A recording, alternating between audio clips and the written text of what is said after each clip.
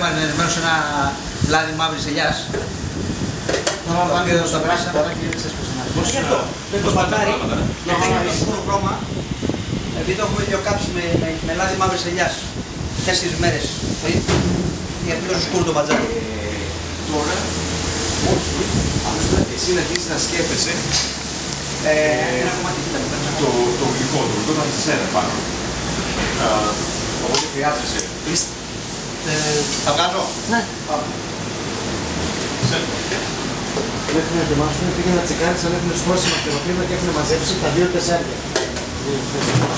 Όχι, εννιά. Δεν γίνεται. Κάτι λάθος. Ναι, δεν πειράζει. Μιλάς σε μένα, ναι. Οκτώ πιάτα θέλω, ε.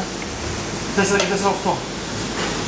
Και ένα για σένα εδώ Ναι, ναι, ναι, το κατάλαβα. γιατί- Και εκεί Βλέπω εδώ δεν βλέπω θα ότι έχεις αδυνατήσει λίγο. Σκέφτεστε, ναι, σκέφτεστε. Έχεις αδυνατήσει λίγο. Είναι τα ρούχα μας, δεν μου είχε βράδυ κορσέ. Ναι. Έτσι, για το νέο. Ναι. Εγώ δεν πρόκειται.